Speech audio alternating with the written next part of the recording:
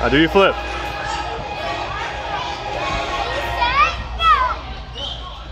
There you go. was.